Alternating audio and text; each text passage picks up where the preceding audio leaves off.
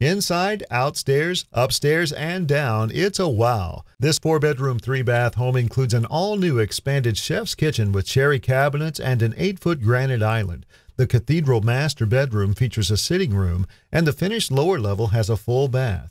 There's also a large laundry area with a craft room and lush landscaping with swimming and tennis areas. Contact Ellie for complete details.